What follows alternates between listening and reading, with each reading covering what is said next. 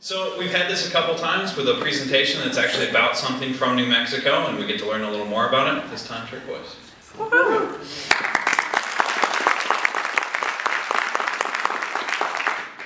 right, my conversation is about what everybody expects and what everybody knows. Turquoise, state of New Mexico.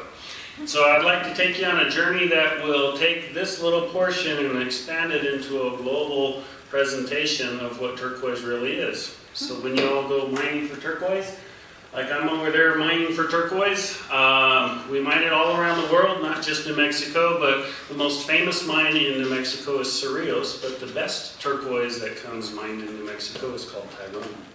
It comes in veins, it comes in nuggets, and we cut those into stones. And once we have the stones, then it's set into jewelry. There's different presentations that go on and how we use turquoise. And so the traditional necklace that they string and drill the beads into was done there by Agustin Lovato. We've all seen the squash blossom, remembering that the Spanish introduced the silver and those styles of jewelry.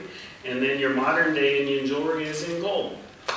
One of the fun things about all of what we just looked at and what we expect and see in turquoise is all combined into mystical qualities, such as it'll protect you from lightning, rattlesnake bites, even ex-husbands. It is the most powerful stone in the world. So it's a participation in everything that you guys already know. We're in New Mexico and we're going to hear a talk on turquoise. But if we learn more about turquoise, the state of New Mexico has the least and absolute worst turquoise in the world.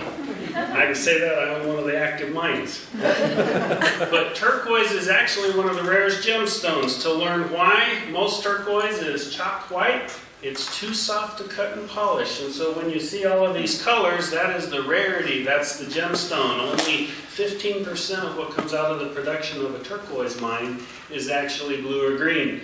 Iron makes it green, copper makes it blue, but it takes thousands of years to go from chalk white that is so soft you can write on a chalkboard to where that you get the low to high grade colors, white being your softest, and so the deeper the blues and the deeper the greens, then you get into the rare of the turquoises. So if you have a deep blue or a deep green turquoise, it's worth more than the lighter colors.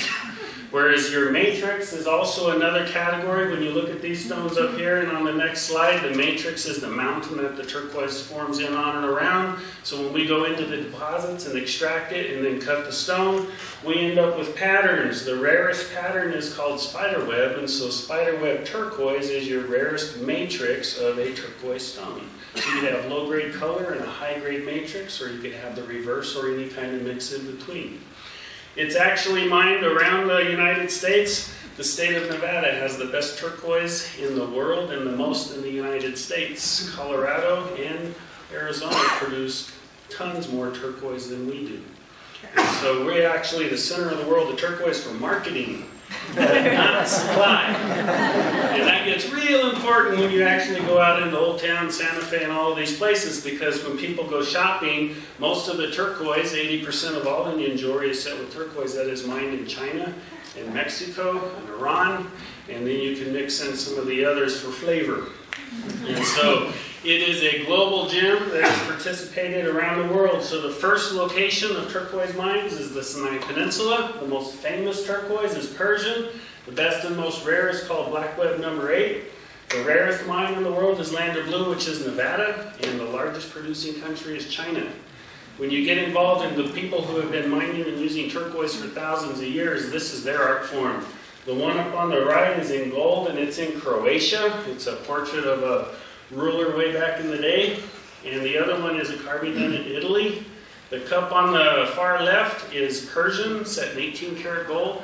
The ones below it are the Tibetan styles of jewelry.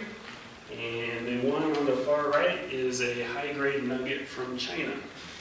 So when we learn history by reading books and understanding marketing past Route 66, for the whole comprehension of turquoise, and we learn it is a global gemstone mined for thousands of years everywhere in the world.